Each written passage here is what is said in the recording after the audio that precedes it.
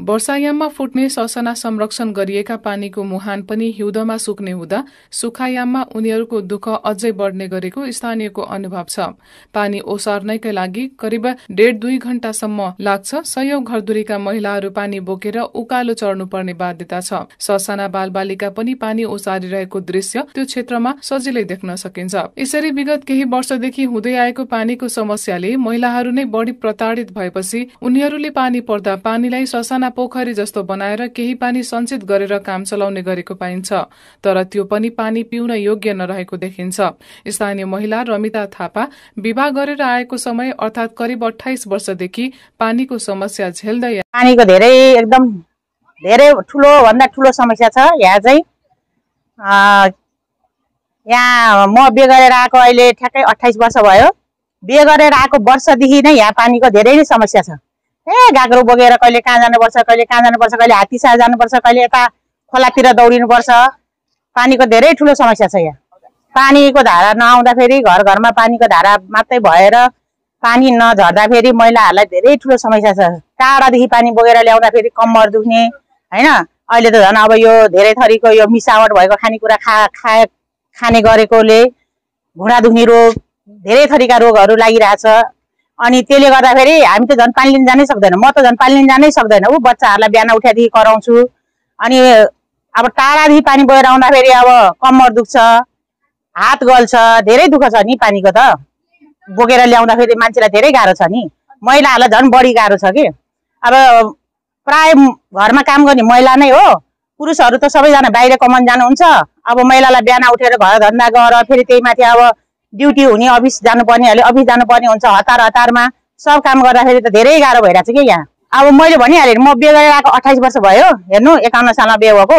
त्यहाँदेखि झेलेको झेलेकै छ पानीको समस्या। पानीको समस्याको समाधान गर्नु पर्यो भनेर हाम्रो यहाँ अब ठुला ठुला नेता जिउहरूलाई पनि हामीले भनेकै हो कुरा गरेकै हो। खानेपानीको अफिसमा गएर पनि हामी के अरे अब यस्तो सुझाव पनि दिएकै हो कि? सबैतिर धारा आउँछ। हामीलाई हाम्रो टोलमा चाहिँ यो मेन त हाम्रो अहिले यो अहिले चाहिँ एक्काइस नम्बर भएको होइन मेन त हाम्रो अहिले पुरानो वार्ड भन्दाखेरि छ नम्बर वार्ड हो। छ नम्बर वार्डमा चाहिँ पानीको धेरै समस्या भयो पानी आएन सबैतिर धारा आउँछ। हाम्रो पनि एक टाइम धारा हामीलाई पनि राम्रोसँग पठाइदेऊ न दिनमा एकै टाइम धारा आउने हो भनेर हामीले धेरैचोटि भन्यो। अध्यक्षज्यूदेखि लिएर सबैलाई सबलाई भनिसक्यो। अनि नेताहरू पनि अब सबलाई भने अब यस्तै त नि अहिले नेपालमा जसको बोल्ने उसैको पिठो पनि बिग्छ नबोल्नेको केही पनि बिग्दैन। फेरि आफन्त होइन? एकदम सबैले अहिले त गरेको के छ त? सबले आफ्नो आफ्नो मान्छे जनतालाई सुविधा दिएको छैन कि? यहाँ त आफू कुर्सीमा भएपछि आफन्तहरूलाई मात्रै एकदम के भन्ने त्यसलाई अब प्राथमिकता दिएको छ आफन्तहरूलाई मात्रै। यहाँ कुनै जनता हेरेको छैन। यहाँ सब हेरिरहेको छ हामीले। ए अहिले अब एमालेको माओवादीको सरकार भएछ ऊ सबै उनीहरूकै जता जता बढी उनीहरूको आफन्त छ उनीहरूको जति आफ्नो पार्टी छ पार्टी पनि हेरिरहेको छ यहाँनिर। धारा जडान भनेको मतलब त्यही पुरानो धाराको लाइनलाई खनेर सबै गरेको हो। त्यो जुन होल पाइप बनाएको पाल बनाएको हुन्छ त्यसलाई पनि हामीले हेरेर अब त्यसमा त्यो के के राखेको हुन्छ त्यसलाई निकालेर पनि फालेर पनि पानी आउँछ कि भनेको कहाँ खोइ छैन। सम्बन्धित निकायसँग पुर्याइदिनु हुन्छ भने ठुलो आशा छ। हामी अन्वेषणवासीहरूले पानीबाट चाहिँ हामी एकदम यो अहिले जति हामीले असुविधा एकदम यो के भन्छ हाम्रो दुर्गति भइरहेको छ हाम्रो पनि अब राम्रो हुन्छ भन्ने हामीले ठुलो आश लागेको छ। पानीको सुविधा भयो भने यहाँनिर तरकारीहरू किनेर खानु पर्दैन। अन्वेषणमा सबै कुरा हुन्छ है। सबै कुराको सुविधा छ यहाँनिर। यो पानी बिना नै केही पनि भएको छैन। तरकारीहरू रोप्यो सबै सुक्खा भएर दुई तिन महिनामा। अब कति हाल्ने पानी? एक बाल्टी पाँच बाल्टी पानी आउँछ त्यो त घरमै युज गर्नु ठिक भइहाल्छ। बारीमा त के हाल्ने? तरकारीमा के हाल्ने? खेती गरेर खाने हो भने यहाँनिर राम्रो एकदम जग्गा पनि मलिलो छ पानीको अभावमा धार्मिक सांस्कृतिक एवं ऐतिहासिक महत्व बोकेको अम्लेखगंज ओझेलमा पर्दै गएको अम्लेखगंजको स्थानीयवासी समेत रहनु भएकी प्रतिनिधि सभा सदस्य मधु साई ठकुरी भन्नु। यो उन्नाइस सय चौरासीमा शमशेरले त्यही दासहरूलाई कमैयाहरूलाई भनौँ न कमैयाहरूलाई कमैया मुक्ति गरेर दासहरूले यहाँनिर अम्लेख गरेको भएर अम्लेखगञ्ज भएको। धार्मिक भनौँ भने हामी यहाँ चुरियामाई जो अहिले त नि प्रसिद्ध चुरियामाई भन्छौँ। जमानादेखि नै चुरियामाईको टन्डेल त्यहाँ कहीँ नभएको विश्वमा पहिला थिएन। चुरिया यहाँनिर थियो चुरियामाईमा पछि यो बनाएको राना आयो।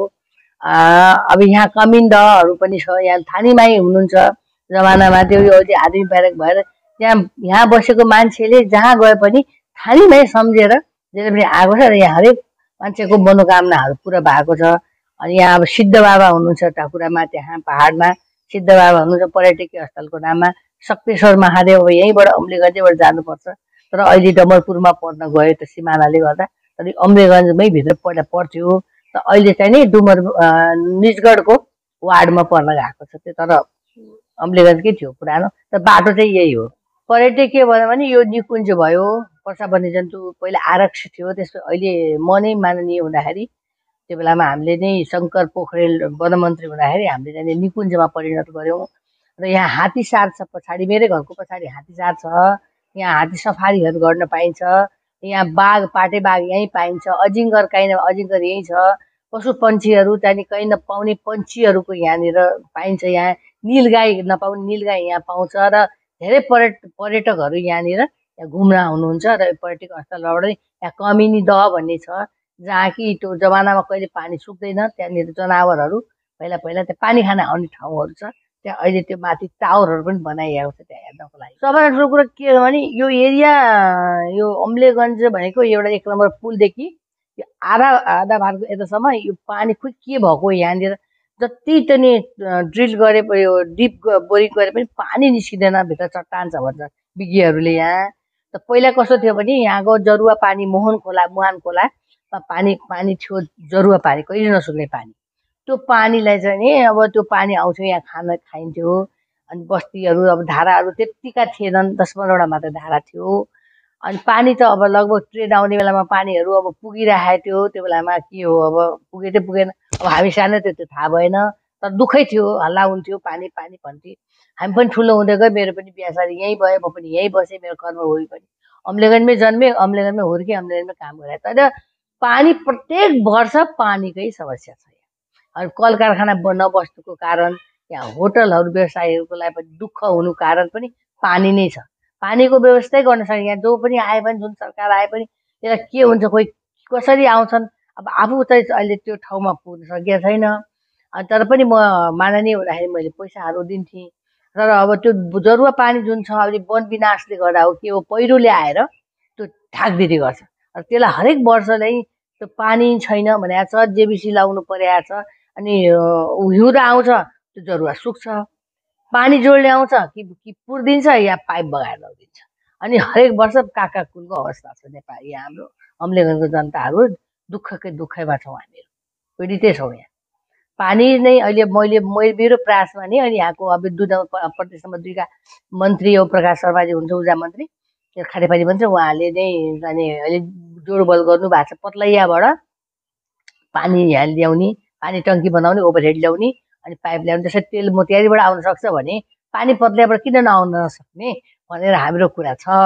हामी आशा गरेका छौँ किन प्रयास नै ठुलो कुरा हो होइन? कुनै बेला मान्छेले पाहाड फोडेर त खोला ल्याउँछ भने हामीले नल्याउनु सक्ने भने तर हामी प्रयासमा छौँ। म हिजै पनि हिजोसँग कुरा भयो मन्त्रीसँग कुरा भइसकेको छ। अब हामी प्रोसेसमा लागेका छौँ। अब यहाँ पनि पानी ड्रिल गर्ने भने त चट्टान पऱ्यो मेरै जमिन फेरि। मेरो जमिनमा मान्छेले भने के भने पानी छ भने ल त ठिक छ भने मैले पैसा पनि नलिकन आफ्नो जमिन अहिले साठी लाख रुपियाँ कट्ठा पर्छ। त्यो जमिनलाई मैले पनि जाने। ल पानी यदि खान पाइन्छ जनताले भने खाउन् भनेर मैले त्यो जमिन दिएँ। तर तिस फुट जाँदा जाँदै तिनचोटि त्यो ड्रिल त्यो ड्रिल गर्ने मेसिन टुट्यो। अनि त्यो अहिले राजस्थान गएको छ भन्छ अब के हो थाहा छैन। त्यसै मेरो जमिनमा त्यसो भाङ्ग परेको छ। र जमिन खुल्ला भएको छ मकै रोप्ने जन किसानहरू रोइरहेछन्। भन्दै थिएँ मलाई के भयो दिदी यहाँ बँदेल ल्याएर मकै खाइदियो। फेरि यति समस्या छ फेरि एक एक हिसाबले हामीले भएर खुसी पनि छौँ। एक हिसाबले हामीले निकुञ्जले वास्ता नगरेर यहाँका किसानहरू पनि मर्नमा छ है फेरि यो पनि कुरा छ पूर्व खानेपानी उपभोक्ता समितिका अध्यक्ष समेत रहनुभएका शिवराज ठाकुर यो समस्या करिब तीस वर्षदेखि यहाँका मानिसहरू झेल्दै आएको अनुभव सुनाउनुहुन्छ। अम्लेसगञ्ज विशेष मान्नुपर्ने कारण के भने राणा प्रधानमन्त्री त्यो बेला चन्द्र शमशेरले यस गाउँमा अम्लेख गरिकन यो यो गाउँको नाम पहिला भिक्षाखोरी थियो।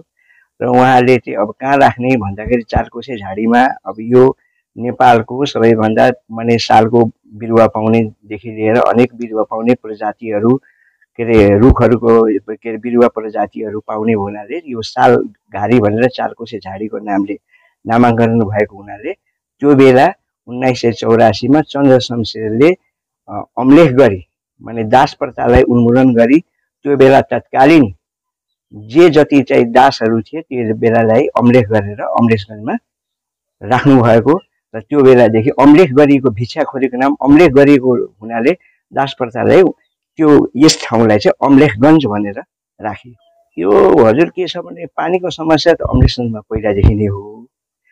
जुन बेला यहाँ जुद्ध शमशेरले यसको चाहिँ एउटा चाहिँ हाम्रो कहानी छ। जुद्ध शमशेरले कर्मकुमारी उहाँको रानी चारकोसे झाडीमा चाहिँ उहाँ चाहिँ आउँदाखेरि सिमरादेखि लिएर अम्लेशगञ्जसम्ममा कुनै पनि पानीको अवस्था थिएन खाने पानी पाउने पर्ने अवस्था थिएन। त्यस अवस्थामा उहाँले यहाँको विकराल अवस्था देख्दाखेरि उनकी रानी कर्मकुमारीले चाहिँ गएर त्यो कुरा चाहिँ राणा प्रधानमन्त्री जुज शमशेरले भनिसक्नु भएपछि उहाँले र पानीको समस्या छ भनेर त्यो बेला तत्कालीन अम्लेशगञ्ज सबैभन्दा हाइटमा भएको उचाइमा भएको र त्यसको पानी तलतिर जाने भएको हुनाले चाहिँ यहाँनिर एउटा चाहिँ अन्डरग्राउन्ड चाहे यो नेपालमा सुन्दरी जलपछि यो दोस्रो अन्डरग्राउन्ड हो जसको क्षमता चाहिँ हजुरलाई चौबिस लाख लिटर छ। र त्यो पानीले चार पाँचवटा धारा बनाइयो। एउटा अम्लेसनमा रानी पोखरी बनाइयो। त्यसपछि हजुरलाई चाहिँ मुझौनामा यहाँबाट चाहिँ तिन किलोमिटर गएपछि बनाइयो त्यसपछि हजुरले हेर्नुभएको होला एउटा आधा भारमा बनाइएको छ। त्यसपछि पत्लैयामा यताबाट जाँदाखेरि पश्चिमतिर छ र एउटा सिमरामा बनाइयो जुन कि पूर्व साइडमा। अहिले छ त्यो अवस्थित नै छ र जहाँसम्म लाग्छ कि अब कतिपय अब चोरीले चकारीले गर्दा हात काटियो। एउटा हात चाहिँ यहाँ हाम्रो चाहिँ रानीको चाहिँ कर्मकुमारीको हात चाहिँ हाम्रो आधा भारमा बाँकी छ दुवै हातबाट। त्यसैबाट पहिला पानी आउँथ्यो र त्यसैबाट मानिसले पानी खाने गर्थ्यो। या त्यो पो पोखरीमा जम्मा भएको पानीले जनावरहरूले पनि खाने मानिसले बटुवाहरूले पनि खाने यो तरिकाले त्यो चलि नै रहेको थियो। त्यसपछि केही वर्षपछि अब हामीले पत्लैयासम्म उ गरेका थियौँ तर त्यसपछि पत्लैयाको पनि लाइन हटिसकेपछि उहाँ आफै पत्लैयावासीहरू सक्षम भइसकेपछि अम्लेसनसम्म चाहिँ सीमित भएर नेपाल सरकारले त्यो बेला तत्कालीन दुई हजार त्रिपन्न सालमा नेपाल सरकारले खानेपानी डिभिजन कार्यालय भनौँ या खानेपानी कार्यालयले त्यसलाई के गरे दुई हजार त्रिपन्न सालमा मन्त्रीजीले आएर त्यो बेला हाम्रो सायद बालराम घरती मगर हुनुहुन्थ्यो त्रिपन्न सालमा यसलाई हजुरलाई चाहिँ खानेपानी तथा सरसफाइ उपभोक्ता समितिलाई त्यो बेला त्रिपन्न सालमा हस्तान्तरण गरियो। र त्यसको सद्वार्षिकी पनि सय वर्ष मनाइयो। तर त्यो चाहिँ त्यति इफेक्टेबल फुल र पानीले चाहिँ मान्छेले खान पाउने चाहिँ अवस्था रहेन। र जुन बेला हामी तत्कालीन यहाँ सबभन्दा समस्या कस्तो छ भने पानीको हजुरलाई हजुरलाई के अरे तिन के अरे चैत वैशाख जेठ असार खरेरी नै लाग्ने। अनि हजुरलाई त्यसपछि चाहिँ फेरि के अरे असार असार साउन भादो के अरे भाद्र बर्सात नै हुने। र यो मेन चाहिँ हाम्रो खानेपानीको इन्टेक चाहिँ खोलामा भएको हुनाले हरेक वर्ष लाखौँ रुपियाँको क्षति गरेर चाहिँ पाइपहरू चाहिँ सबै बगाएर लैजाने र पाइपहरू बगाएर लाँदाखेरि त त्यो पानी त स्टोरेज भएन। स्टोरेज नभइसकेपछि पानी त उपभोक्तामा आएन। र अहिले पनि हजुरलाई चाहिँ अब हिजो के अरे अस्तिको के कुरा आज एक हप्ता डेढ हप्ता भइसक्यो हाम्रो धारामा पानी आएको छैन। हामीले चाहिँ उ गर्दाखेरि पानी थोपो झरेको छैन जसको कि अब उहाँ हामीले चाहिँ स्टोरेज गरेर त्यसै राखेका छौँ तल। स्टोरेज गर्दाखेरि पनि त्यो पानी त्यहाँनिर जम्मा भइदियो भने त हामीले मोटरले माथि फाल्न सक्यौँ। अब स्टोरेजै हुँदैन थुप्रै पानी नझरिसकेपछि त त्यसले त पानी त हामीले प्राप्त गरेनौँ र त्यसको लागि अब खोलामा जाने कुरा भएन खोलामा बाढी आएछ। त्यसले गर्दाखेरि हामी एकदमै अवस्था चाहिँ खानेपानीको दयनीय छ र नेपाल सरकारले त्यो बेला तत्कालीन हाम्रो चाहिँ अम्बिका बस्नेतजी स्टुडियो साहेब हुनुहुन्थ्यो। त्यो बेला चाहिँ चार नम्बर पुलमा अर्को मुहान एउटा बिजोरीको मुहान त कर्मकुमारीकै पालामा यो चाहिँ बनेको हो बिजोरीको मुहान अहिले छँदैछ। र एउटा चार नम्बरको हाम्रो मुहान छ खानेपानीको मुहान। त्यो इन्टेक चाहिँ ठ्याक्कै चार नम्बर पुलको मुनि छ। जहिले पनि बाढी आउँछ त्यो इन्टेकमा बालुवाले पुरिन्छ। बालुवाले पुरिसकेपछि त्यसलाई बगाएर पनि पाइपलाई पनि बगाएर लैजान्छ र पानी पनि आउँछ र पानी भएपछि फेरि तिन महिना चार महिना यो त्यहाँबाट चार नम्बरको पानी आउन बन्द हुन्छ चुरेको विनाश त अब चुरेको विनाश चाहिँ अब यो भावर प्रदेश हाम्रो। भावर प्रदेश चु चुरेमा जहिले पनि पानीहरू भइरहनेछ र त्यसलाई अब हामीले चुरेको विनाश गऱ्यो भने त हाम्रो त तराई त दुई नम्बर प्रदेश त रहँदैन। त्यसले गर्दाखेरि वन संरक्षण गरेर कसरी गर्न सकिन्छ? र हामीलाई अब एउटा चाहिँ अस्ति नै चाहिँ अब हाम्रो चाहिँ के अरे सर्वे भएको थियो कि राप्तीबाट पानी डाइभर्ट गरेर ल्याउने भनेर। अब राप्तीबाट पानी डाइभर्ट गरेर ल्याउने भनेपछि त चार नम्बर पुलदेखि डाइभर्ट गर्नुभन्दा त अहिले जुन चाहिँ हाम्रो चाहिँ पत्लैयाबाट हामीलाई पानी ल्याउन सुविधा हुन्छ। पानी पत्लैयाबाट ल्याउँदाखेरि हामीलाई सुविधा हुन्छ। त्यो डाइभर्ट गर्नुभन्दा यो बाटै बाटो पऱ्यो बाटै बाटो परेर यो आइपुग्छ जस्तो कि हाम्रो पाइपलाइनबाट तेल आए जस्तो। हो तर उताबाट आउँदाखेरि खोले खोलाको बिचमा आउनुपर्छ। फेरि त्यो के अरे पाइपको क्षति भएर जान्छ। त्यसमा क्षति भएमा लाखौँ रुपियाँको खर्च फेरि हुन्छ। अम्लेगञ्ज खानेपानी उपभोक्ता समितिका अध्यक्ष नारायण लामिछानेले दुई हजार त्रिपन्न सालमा पाँच सय भन्दा बढी पाइप धारा मार्फत पानी ल्याउने प्रयास गरिएको तर सम्भव भने हुन नसकेको दुखेसो पोख्नुहुन्छ। पानीको अवस्था चाहिँ पहिला नेपाल श्री पाँचको सरकार हुँदाखेरि पनि यो बर्खाको समयमा र सुक्खा मौसममा चाहिँ मेरो अनुभवमा त्यतिखेर पनि दुःखै हो। र त्यतिखेर जम्मा एक सय तेत्तिसवटा धारा थियो जुन मिटर सिस्टमले चल्थ्यो। त्यसपछि गएर दुई हजार त्रिपन्न साल फागुन छ गते उपभोक्ता समिति गठन गरेर समितिलाई हस्तान्तरण भयो। त्यस पश्चात दुई तिन वर्ष राम्रै तरिकाले चलेको थियो। त्यसपछि धारा सङ्ख्या अत्याधिक बढ्यो मान्छेहरूको सुविधा अत्याधिक बढ्यो। जस्तो उदाहरणको लागि पहिला पहिला यहाँको मान्छेहरू के भन्दा गोठालो जाने घाँस काट्ने खेतीपाती गर्ने जुन आज काम गर्यो भोलि पनि गर्न छ भन्दा कम नहुने कम लुगा धुने हुन्थ्यो। अब अहिले मान्छेले त्यो कुरो छोड्यो। लुगा धुन के अरे खेतीपाती गर्न छोड्यो वस्तुभाउ पाल्न छोड्यो चराउन छोड्यो। छोडेपछि के बिहानै नहुने बेलुकै नहुने अब त्यतिखेर खास गरी पक्का घर भने एउटा दुईवटा थियो। त्यतिखेर सबै माटोले लिप्ने घर थियो। माटोले लिप्ने घरमा अटोमेटिक पानी कम खर्च हुन्छ। जस्तो अट्याच बाथरुमहरू तलै पछि टोयलेटहरू बाथरुमहरू थिएन। अहिले अत्याधिक मात्रामा पक्का घरहरू बन्यो तलै पछि टोयलेट बाथरुम त्यसपछि मान्छे बिहान नुहाएपछि बेलुका पनि नुहाउने सफा सुग्घर हुने त्यसले गर्दाखेरि पानीको झन् झन् आवश्यक बढ्दै गयो। त्यसपछि फेरि के भयो त भन्दाखेरि पानीको स्रोतहरू घट्दै गयो। त्यसले गर्दा एकदम कम छ।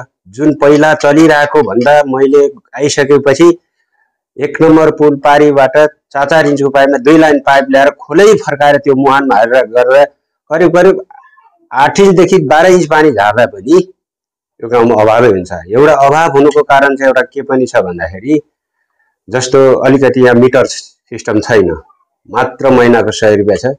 त्यो सय रुपियाँ भन्ने कुरो केही पनि होइन। त्यसले गर्दा सस्तो पानी भएर आफूलाई चाह्यो भएको खण्डमा धारा बन्द नगरिदिने कसैले बाटामा थापेर त्यत्तिकै छोडिदिने कसैले लगेर चाहिँ के अरे बारीमा लगेर छोडिदिने एका दुईको अनि सिस्टम के छ भने एउटा सोसाइटी छतमाथि चाहिँ ट्याङ्की राख्ने ठुल्ठुलो तल एउटा केही नराख्ने।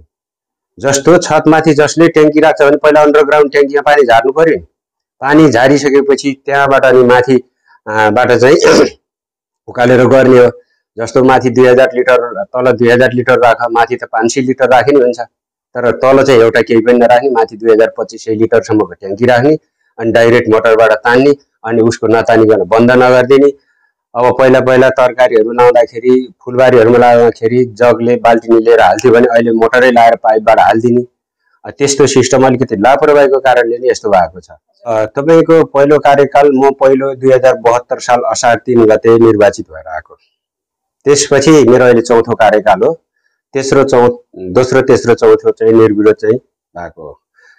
त्यसकारण यहाँ मैले आएर कति गरेँ के गरेँ भन्दाखेरि यहाँको दृश्यहरू बोल्छ मैले पहिला म आउनुभन्दा अगाडिको फोटोहरू त्यो यो भवनको यो भित्र कम्पाउन्डको त्यो छ।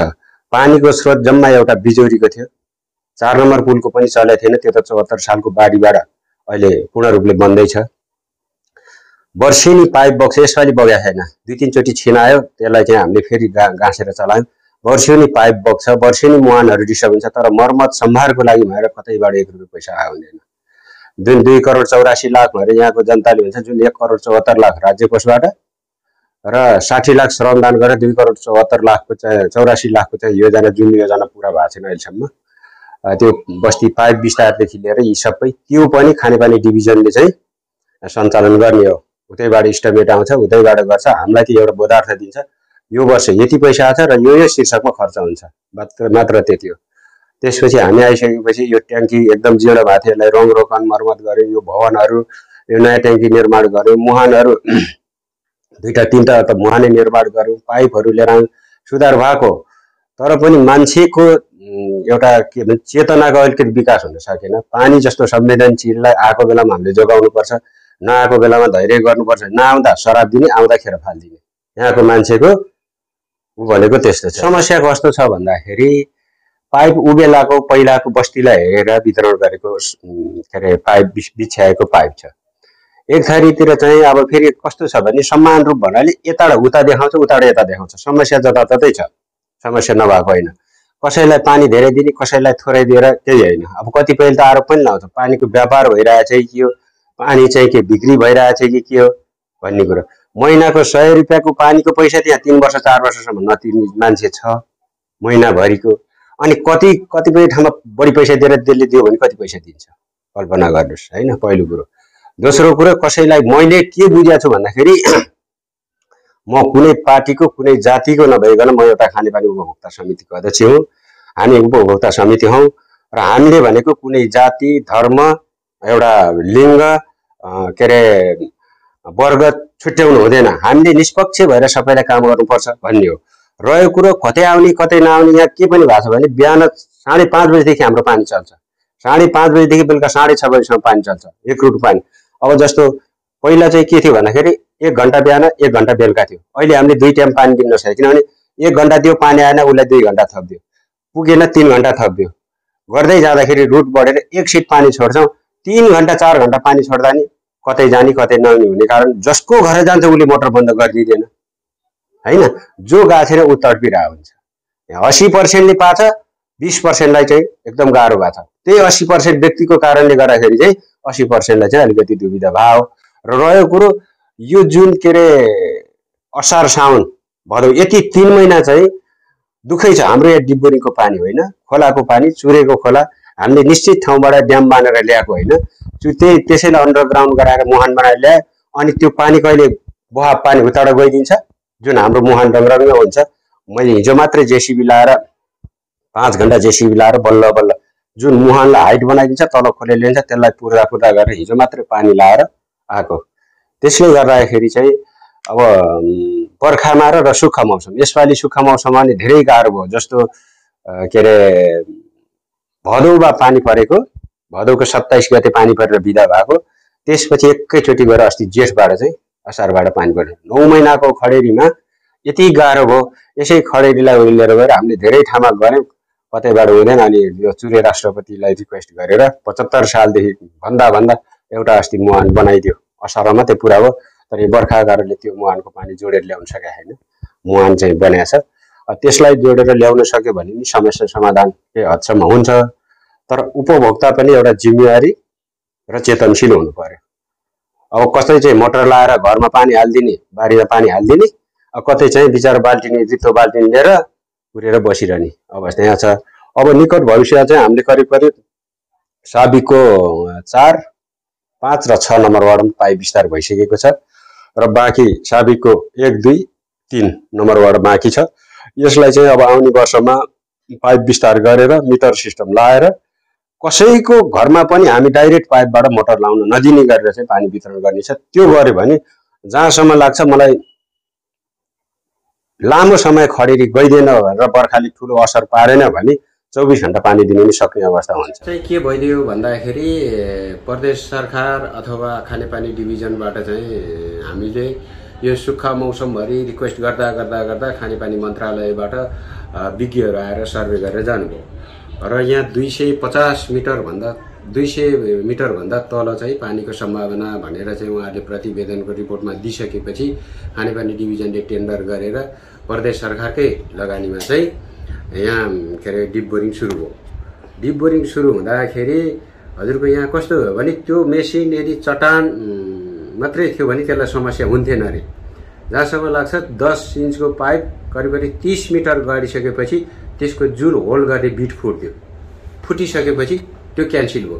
त्यसपछि त्यसलाई क्यान्सल गरेर आठ इन्चीको पाइपबाट चाहिँ सम्भावना हुन्छ कि भनेर आठ इन्चीको पाइप अडचालिस मिटर गइसकेपछि चाहिँ अडचालिस मिटरको पालामा चाहिँ के गर्यो त तल पाइप जान सकेन। नजानुको कारण चाहिँ त्यहाँ चाहिँ विशाल चट्टान नभइकन ठुल्ठुलो ढुङ्गाहरू बोल्डरहरू त्यस्तोहरू देखियो। जुन त्यसले होल्ड गर्दै फुटाउँदै गयो फेरि त्यसलाई फुटाएको जति बाहिर निकाल्यो फेरि मेसिन जाँदाखेरि फेरि दायाँ बायाँ आएर बस्दिने। गर्दाखेरि खोल्नै नसक्ने। त्यसलाई चाहिँ अलिकति पावर दिएर गर्दाखेरि त्यसको ग्यास पाइप फुटेर जान सकेन। त्यसले गर्दाखेरि यो चाहिँ अब के अरे उताबाट त्यो यहाँ बाहिरबाट ल्याउनु पर्ने त्यो बिट चाहिँ त्यो बिट र ग्यास पाइप ल्याएर बनिसकेपछि यो चाहिँ हुन्छ भन्ने कुरो चाहिँ। पानीको अभावमा अम्लेखगञ्जमा वर्षौंदेखि अधिकांश खेतीयोग्य जमिन बाँझो रहेको तथा चौतर्फी विकास समेत अवरुद्ध रहेको महिलाहरू बताउँछन्। स्थानीय सुनिता देवी भन्नुहुन्छ। म आएको त अब खोइ यहाँ अब कति भयो? म आएको त एघार वर्ष भयो। एघार वर्ष म यो घरमा आएदेखि यत्तिकै छु। त्यही हो। अब बर्खा आउँदाखेरि अब सङ ल्याएर राख्ने तातो उमालेर खाने गरिन्छ होइन? उमालेर खाने हो बर्खाको पानी त। अब हिउँदको पानी चाहिँ अब सफै आउँछ त्यतिकै छानेर खाइन्छ त्यही घरमा अब सबै महिलाले गर्न पर्ने भएको भएर होला अब लुगा धुने होइन? अब हाम्रो चाहिँ वस्तुभाव छैन है। वस्तुभाव हुनेहरूलाई त गाह्रै छ नि। अब कहाँ कहाँबाट लिनु जानुपर्छ। अब अहिले पानी छैन अब कसको धारामा आछ कि? के आछ कि भन्दै हिँड्नुपर्छ। स्थानीय राजेन्द्र साई ठकुरीले पानीको अभावका कारण आफ्नो अडतिस बिघा खेतीयोग्य जमिन बन्जर भएको अवस्था रहेको बताउनु समस्या भन्ने कुराहरू चाहिँ के छ भने आजभन्दा धेरै वर्ष अगाडिदेखि नै पानीको लागि चाहिँ हामीलाई अब दिन प्रतिदिन जनताहरू पनि बढ्दै गए जसले गर्दाखेरि पानीको आवश्यकता पनि बढ्दै जान्छ। तर क्यापेसिटी भनेको हाम्रो त्यही नै हो आउने स्रोत भनेको नि खोलाको बाटो भएर आउने हो। बर्खाको बेलामा जहिले पनि पाइप बगायो भन्ने कुराको गुनासोहरू आइरहन्छ। हिउँदको बेलामा जब पानी जब हुन्छ त्यो बेलामा चाहिँ सुखायाम भइरहन्छ। पानीको चाहिँ हामीलाई अति नै असुविधा नै महसुस भइरहेको छ। मलाई मात्रै होइन कि यहाँ सम्पूर्ण जनताहरूलाई नै हो। एउटै किसिमको समस्या छ कि पानी। अब त्यही कुरालाई लिएर यहाँबाट देखि लिएर हामीलाई सबै गाउँ टोलका मान्छेहरूले धेरै कुराहरू निस्क्यो त अब बोरिङ गर्ने भन्ने कुराहरू आयो। अब बोरिङ गर्ने भन्ने कुराहरूमा पनि दुई तिन ठाउँमा यहाँनिर पानीको चाहिँ के भन्छ त्यसलाई यकिन भयो पानी छ भन्ने कुरा। जसमध्येमा यहाँनिर पनि जुन यहाँनिर गरिएको छ यो पनि देखाउनु होला हेर्नु। यहाँनिर छ भन्ने कुराहरू यकिन भएपछि ल गर्ने भन्ने कुराहरू भयो मैले यहाँनिर आफ्नो जमिन। मेरो मेरो नै हो यो सबै। पुरै टोटल। नै है? मैले चाहिँ ल नि शुल्क गर्नुहोस् भनेर नै मैले दिएको हो। अब उहाँहरूले सुरुवात त गर्नुभयो यहाँनिर। अब नजाने के कारणले हो होइन? अब मिसिन बिग्रियो भन्ने कुराहरू छ यहाँनिर बोरिङ गर्दाखेरि। यहाँनिर जति खन्यो त्यति नै ढुङ्गा निस्किन्छ क्या। जति खन्यो चट्टानै चट्टान यो हेर्नु न यस्तै चट्टानै चट्टान ढुङ्गा ढाङ्गी निस्किने ठाउँ हो यो। जहाँ खने पनि त्यस्तै नै हो। यहाँ मात्रै होइन जहाँ खने पनि त्यस्तै नै हो हुन त। पानी चाहिँ अब मिसिन बिग्रिएको छ भनेर भन् भन्नुहुन्छ उहाँहरू। गएको महिनादेखि नै अहिले बन्द छ। आउँछ आउँछ आउँछ भन्ने कुराहरू सुनिरहेको छु अरू विशेष अरू के हो र हामीलाई त जति सक्दो पानी नै चाहिएको छ अरू समस्या भन्दा पनि ठुलो समस्या अहिले पानी नै भएको छ हामीलाई। अम्लेगञ्जमा राष्ट्रिय निकुञ्जसँगै जोडिएर होटल व्यवसाय गरेका व्यवसायीहरूले पनि आफ्नो दुखेसो पोख्दै त्यहाँ पानी र खानेपानीकै अभावका कारण कुनै पनि व्यवसाय गर्न नसकिएको कारण आर्थिक समस्याबाट उत्तिकै गुज्रिनु परेको भन्छन्। होटल तथा पर्यटन व्यवसायी महासंघका केन्द्रीय प्रतिनिधि मोहन शर्मा लामिछानेले अम्लेगञ्जमा करोड़ौं रूपियाँ होटल व्यवसायमै लगानी गरिसकिएको तर पानीको चरम अभावका कारण व्यवसाय सञ्चालनमा समस्या उत्पन्न भएको गुनासो छ। यसै विषयमा स्थानीय व्यवसायी हिरा मानन्दर भन्नुहुन्छ। पानीले गर्दा बेला बेला समस्या पर्छ। किनभने हामीले अहिले यही पर्सा राष्ट्रिय निकुञ्जको भित्रबाट चाहिँ मूलको पानी लिएर राखेका छौँ। कहिले हात्तीले दुःख दिन्छ कहिले जङ्गली जनावर बन्देल सन्देलले पाइप उखालेर फालिदिन्छ कहिले चाहिँ अब डाँडा काँडा हुँदै पाइप झेल्दै लिएर छन्। त्यसले गर्दा कहिले बाँदरले भत्काइदिन्छ कहिले खोलाले लान्छ। त्यो समस्या त पर्छ कहिले हप्ता दिनै पानी आउँदैन। कहिले पन्ध्र दिनै आउँदैन बनाउनु जानुपर्छ हात्तीसँग सङ्घर्ष गरेर जितेर जानुपर्छ। अब त्यसमा समस्या त समस्या महासमस्या छ। खानेपानी तथा सरसफाई कार्यालय बाराका प्रमुख जकी अहमदले भौगर्भिक तथा जलवायु सम्बन्धी विज्ञबाट पानीको सम्भाव्यता अध्ययन भइरहेको बताउनुहुन्छ। दिगो समाधानको लागि हामीले त्यहाँ डिप बोरिङ गरेर पानी निकाल्ने कि जमिन मुनिबाट भनेर हामीले अलिकति एउटा अध्ययन गरायौँ। अनि अध्ययन गराएपछि सम्भावना एक ठाउँमा त्यो हात्तीसारको नजिकै त्यहाँ बोरिङ गराउँदैछौँ। त्यो बोरिङ अब सक्सेस हुन्छ कि हुँदैन अलिकति हामीलाई शङ्कै छ। किनभने विगतमा पनि अम्लेगञ्जमा बोरिङहरू भएको थियो सक्सेस भएन पानी निस्केन। अनि अब यो अन्तिम प्रयास हो र त्यहाँबाट भएन भने अर्को हामी विकल्प के सोचेको छौँ भने पथलैयामा बोरिङ गरेर पथलैयाबाट पानी पम्पिङ गरेर अम्लेगञ्ज बजारमा पुर्याउने भनेर त्यो हामीले सोचेका छौँ होइन। आफू मन्त्री भएदेखि अम्लेगञ्जमा पानीको अभावबारे चासो देखाउँदै बजेट छुट्याएरै नेपाल इन्जिनियर एसोसिएसन मार्फत विज्ञ टोलीलाई खटाई पानी उपलब्धताबारे अध्ययन अनुसन्धान गराइरहेको प्रदेश दुईका खानेपानी तथा सिंचाई मन्त्री ओम प्रकाश शर्मा दावी गर्नुहुन्छ। मेरो मन्त्री बनेदेखि नै मैले पचास लाख रुपियाँ त्यो सम्भावितता अध्ययन गर्नेदेखि लिएर सबै मैले गरेँ। त्यहाँ दुईवटा परियोजना हाम्रो चल्दैछ। मैले अहिलेसम्मको परि एउटा त त्यहाँ ड्रिलिङ गर्दैछ कि अम्लेगञ्जभित्रै ड्रिल गरेर पानी निकाल्न सक्यो भने हुन्छ। अढाई सय फिटसम्म ड्रिल गरिसकेपछि त्यो ड्रिल टुटिसक्यो। त्यो ड्रिलको इक्विपमेन्ट्सहरू यहाँ पाउँदैन। त्यो इन्डियाबाट ल्याउनुपर्छ। त्यसमा टाइम लागिरहेछ। त्यसपछि मैले के गरेँ भने त्यो ड्रिल गर्दाखेरि छ महिना लाग्ला सालभर लाग्ला होइन भनौँ त्यसपछि त्यो ड्रिल आउँछ। त्यसमा समय लाग्यो भने मैले के भने जस्तो मोतिहारीबाट अम्लेखगञ्ज तपाईँको पेट्रोल जान सक्छ भने अम्लेखगञ्जमा पानीको समस्या छ। पथलैयामा त छैन सिमरामा त छैन। हामी पथलैयामा बोरिङ गरेर त्यो पाइपलाइनबाट त्यहाँ पानी पठाउन सकिन्छ। त्यो सम्भाव्यता अध्ययन गर्नलाई त्यसको कति पैसा लाग्छ त्यसको अध्ययन गरेर त्यो काम थाल्नलाई मैले आदेश पनि दिइसकेको छु जिम्मेवारी पनि पठाइसकेको छु लिखित रूपमै पठाइसकेको छु। अस्ति अम्लेगञ्जका मान्छेहरू आउनुभएको थियो मलाई निवेदन दिनुभयो तर उहाँ आउनुभन्दा अगाडिदेखि नै यो काममा म लागिसकेको थिएँ। एकचोटि म हाम्रो सभामुखहरू उपसभामुखहरूबाट एउटा कार्यगोष्ठीमा त्यहाँ पुगेको थियौँ। त्यो कार्यगोष्ठीमा मैले त्यहाँ हेर्दाखेरि मलाई धेरै नै ऊ लाग्यो। यो दुई वर्ष अगाडिको कुरा हो। अनि त्यही दिन मेरो दिमागमा थियो तर म मन्त्री थिएन मसँग त्यस्तो केही पनि थिएन। आज त्यो पदमा पुग्न बित्तिकै पहिलो मेरो प्रयास चाहिँ त्यो अम्लेखगञ्जलाई अगर मेरो हातबाट चाहिँ मेरो कार्यालयबाट मैले पानी खिलाउनु पाएँ भने उहाँहरूभन्दा बढी खुसी म हुन्छु। समस्या केही पनि भएको थिएन। त्यहाँ हेर्थेँ ट्याङ्कर ट्याङ्करबाट मान्छेहरू पानी ल्याउँथे।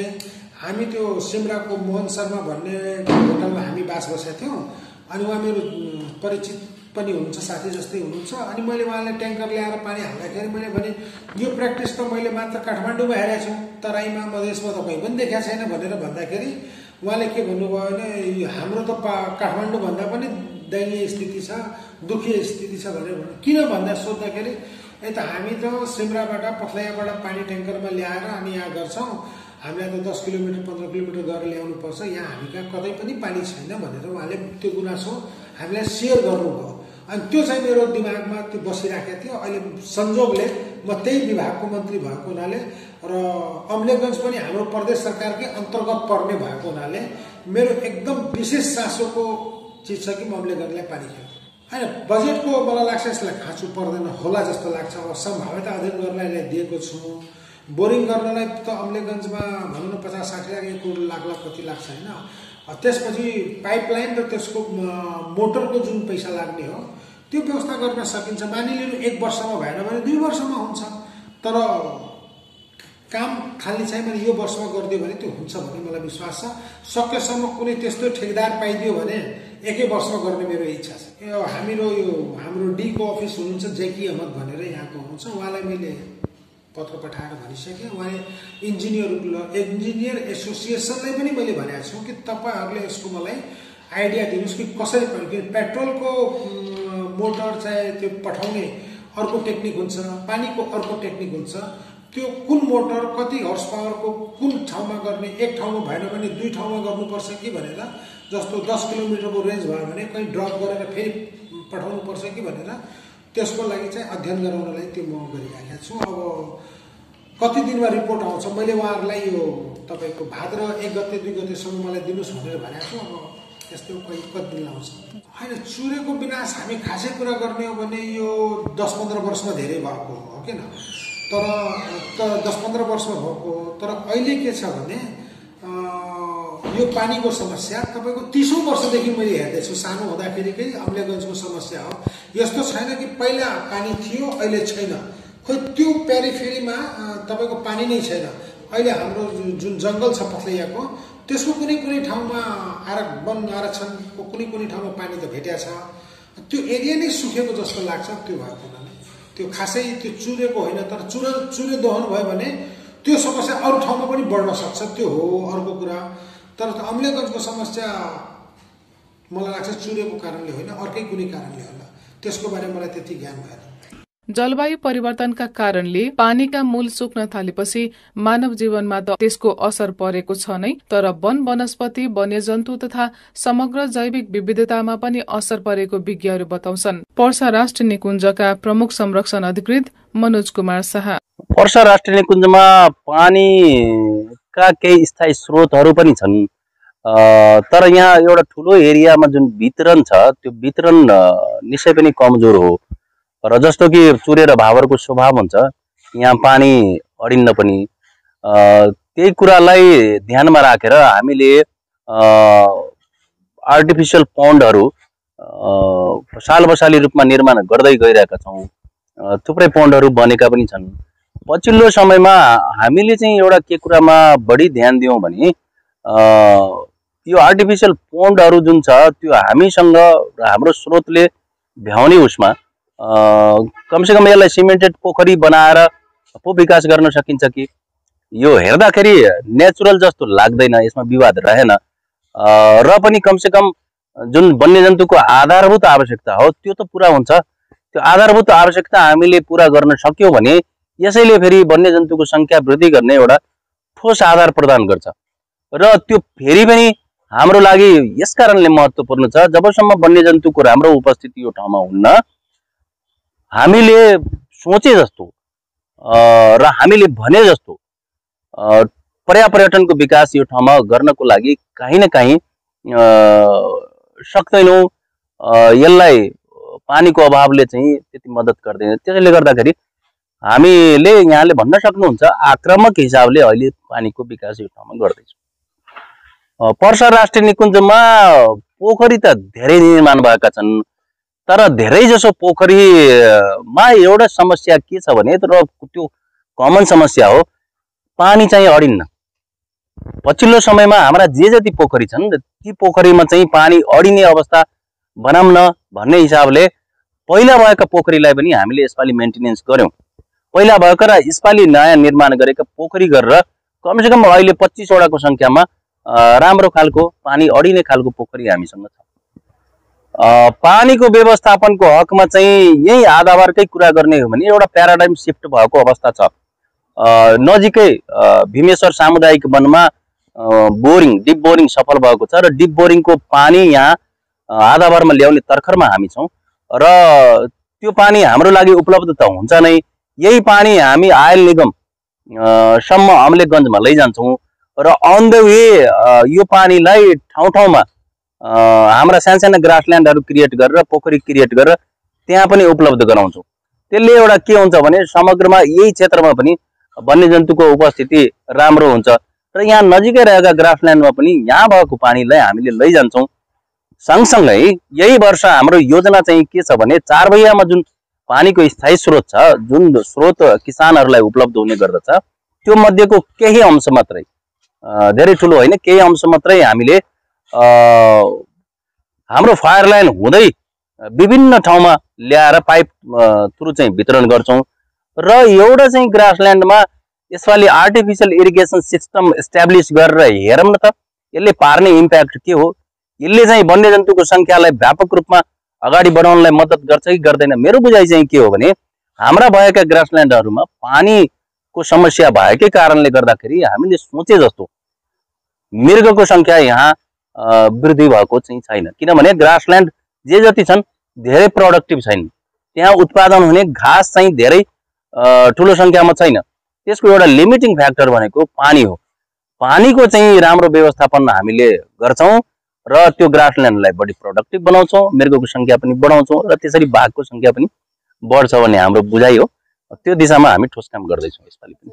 यो चुरे क्षेत्र भनेको साह्रै योङ माउन्टेन पनि हो र यहाँको जुन रक छ त्यसको क्यारेक्टरै के छ भने अब त्यो पानी लाई अड्याउने काम त्यसले धेरै गर्दैन। यहाँ भएका पानीहरू पर्कुलेट भएर तल जान्छन् र अकोफर भन्ने हुन्छ त्यहाँ पानी गएर बस्या हुन्छ। त्यो पानी अब मधेसमा चाहिँ उपलब्ध हुन्छ।